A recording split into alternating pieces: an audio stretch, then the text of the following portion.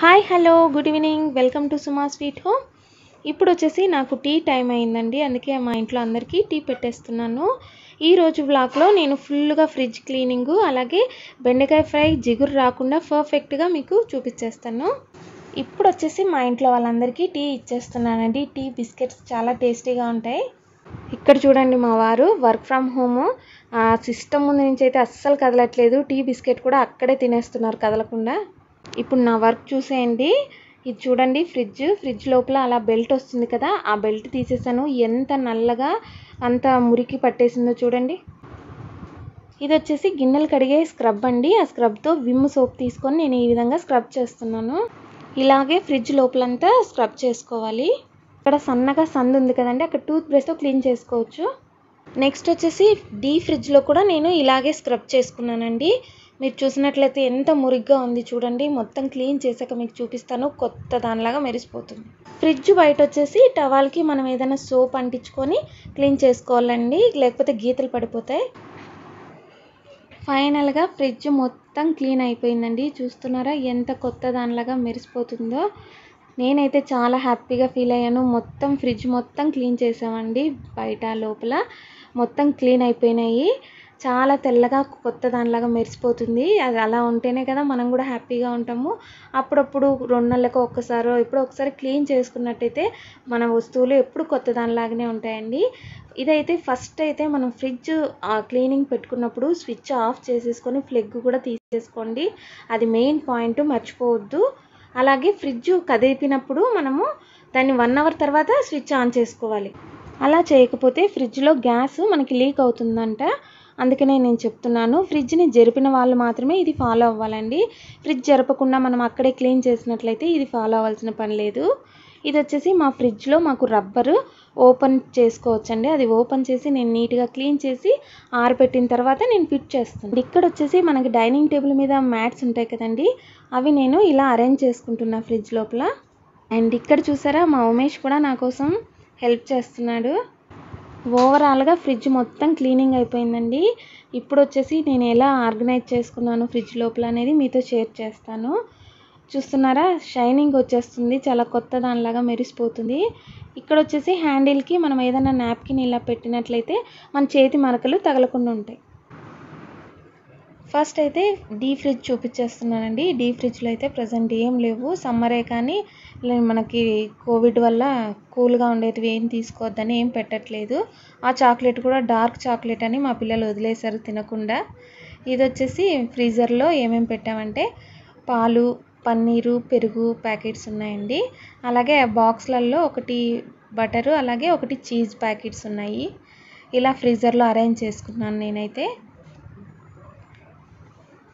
And ఇప్పుడు వచ్చేసి first row అండి. ఫస్ట్ రోలో బాక్స్లలో నేను కూరగాయలని పెట్టుకున్నాను. ఎందుకంటే కవర్స్లలో పెట్టద్దు అంటున్నారు కదా అందుకని బాక్స్లో పెట్టుకుంటే చాలా బాగుంటుంది. ఈ బాక్స్ వచ్చేసి డీమార్ట్లో తీసుకున్నానండి చాలా బాగుంటుంది. కూరగాయలకే కాదు అన్నిటికీ వాడుకోవచ్చు. ఈ బాక్స్లలో పుదీనా కొత్తిమీర కరివే కరివేపాకు అలాగే అల్లం వెల్లుల్లి పేస్ట్లు ఈ బాక్స్లలో ఉన్నాయండి. నెక్స్ట్ రోలో వచ్చేసి ఏం పెట్టుకున్నానంటే మిర్చి ఒక బాక్స్లో పెట్టేసుకున్నాను. ఇది రెడ్ బాక్స్లో ఉండేది కర్డ్. ఇలాగే చిన్న చిన్న బాక్స్లలో కూరగాయలు పెట్టేసుకున్నామండి. వంకాయలు నిమ్మకాయలు అలాగే మ్యాంగో కూడా ఉంది దాంట్లో పచ్చి మ్యాంగో. దీంట్లో పచ్చిమిర్చి పెట్టేసుకున్నాను. కడిగి ఆరబెట్టుకొని బాక్స్లో పెట్టేశాను. అన్ని మిగిలిన కర్రీస్ ఏమన్నా ఉంటే పెరుగు ముఖ్యంగా ఎక్కువ కర్రీస్ మిగిలవలేండి. ఇది వచ్చేసి టమాటాలు అలాగే అల్లం వెల్లుల్లి. అల్లము వెల్లుల్లి పెట్టలేదు స్మెల్ వచ్చేస్తుంది కదా. సో కింద వచ్చేసి కింద కూరగాయల దాంట్లో ఇవి కూరగాయలు ఉన్నాయి. క్యాబేజీ క్యారెట్ దోసకాయలు ఇవే ఉన్నాయండి. ఇంకా ఫుల్ అయిపోతుంది. ఇంకా ఇప్పుడు ప్రజెంట్ ఏం లేవు కదా. కూరగాయలు ఉన్న వాటిని నేను అరేంజ్ చేశాను. ఫ్రిడ్జ్ అంతా ఫుల్ అయిపోతుంది లేకపోతే. కర్రీస్ అయితే ఎక్కువ పెట్టమండి ఫ్రిడ్జ్లో. అండ్ సైడ్లో వచ్చేసి ఎగ్స్ అలాగే వాటర్ బాటిల్స్ సోడా బాటిల్స్ ఉన్నాయండి. మామూలుగా అయితే ఈ సీజన్లో కూల్ డ్రింక్స్ అవి ఇవి ఉంటాయి. కాకపోతే ఇప్పుడు ఉన్న కోవిడ్ వల్ల మనం ఏం తీసుకోవట్లేదు అవి. కొత్తిమీర పూలని కవర్స్లలో నేను అలా పెట్టాను. ఇది సైజు కొద్దిగా చిన్నదే అండి. మా ఇంట్లో మెంబర్స్కి సరిపోదు. కాకపోతే చాలా రోజుల నుంచి వాడుతున్నాం. మార్చలేదు. చిన్నది కాబట్టి ఫ్రిడ్జ్లో సరిపడ కూరగాయలు మాత్రమే పెట్టుకుంటామండి. ఇది వచ్చేసి కింద మనకు ఆనియన్స్ అలాగే ఆలు పెట్టుకోవడానికి బాక్స్ ఇచ్చారు. ఇప్పుడు వచ్చేసి మనం బెండకాయ ఫ్రై చూసేద్దామండి.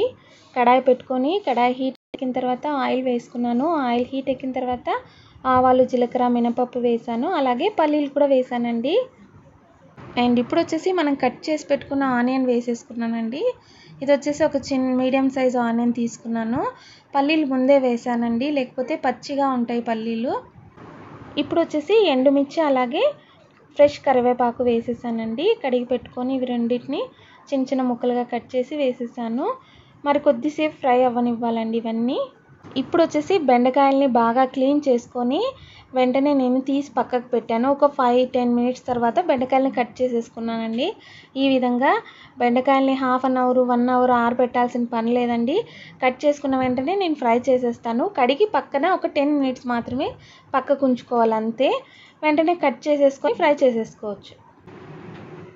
ఇక్కడ చూసారా? బెండకాయ ముక్కలలో మనకి ఎక్కడ జిగురు కనిపించట్లేదు. మనం కడాయిలో వేసిన తర్వాతనే జిగురు అనేది వస్తుందండి. దానికి అందరు భయపడుతుంటారు. ముఖ్యంగా కొత్తగా చేసేవాళ్ళు అప్పుడప్పుడే నేర్చుకునే వాళ్ళు బెండకాయ ఫ్రై అంటే కొద్దిగా కష్టమే అండి చేయడము. అందరికీ రాకపోవచ్చు నాకు తెలిసి. ఎందుకంటే నాకు కూడా రాలేదు కాబట్టి ఫస్ట్లో ఇప్పుడు చూడండి నేను చేసినట్లు తప్పకుండా ట్రై చేసి చూడండి. మీరు పర్ఫెక్ట్గా చేసేస్తారు. ఇప్పుడు వచ్చేసి సాల్ట్ వేస్తున్నాను నేను. హాఫ్ టీ స్పూను సారుపడంతా వేసుకోండి. ఎంత అవసరమో అంత. నెక్స్ట్ వచ్చేసి నేను హాఫ్ టీ స్పూను పసుపు వేసాను. కొంతమందికి ముక్కలు కూడా బాగా విరిగిపోయి వస్తాయండి బెండకాయ ఫ్రై అంటే. అలాగే జిగురు కూడా ఉంటుంది. ఇలా చేయండి. ఖచ్చితంగా మీకు చాలా నీట్గా వస్తుంది ఫ్రై. హై ఫ్లేమ్ మీదనే మనము బెండకాయ ఫ్రైని కొద్దిసేపు ఫ్రై చేసుకోవాలండి. బెండకాయ మీద నుంచి కాకుండా కడాయి కింద నుంచి అట్ల కాడతో ఫ్రై చేసుకోండి. హై ఫ్లేమ్ మీదనే వన్ ఆర్ టూ మినిట్స్ మనము ఫ్రై చేసుకోవాలండి. లైట్గా ఒకసారి కెరటతో అటు ఇటు తిప్పి ఈవెన్గా ఉప్పు పసుపు పట్టిన పట్టే విధంగా ఫ్రై చేసుకుంటే చాలండి. తర్వాత వచ్చేసి మీడియం ఫ్లేమ్లో మనకి వన్ ఆర్ టూ మినిట్స్ ఉంచేసినట్లయితే ఇలా జిగురు జిగురు వచ్చేస్తుందండి అప్పుడు. ఇప్పుడు వచ్చేసి మనం స్టవ్ని సిమ్లో పెట్టుకొని మూత పెట్టకుండా టూ మినిట్స్ అలాగే ఫ్రైని ఉంచేసేయాలండి. దాని తర్వాత మూత పెట్టి ఒక త్రీ మినిట్స్ మనము సిమ్లో మగ్గనివ్వాలి.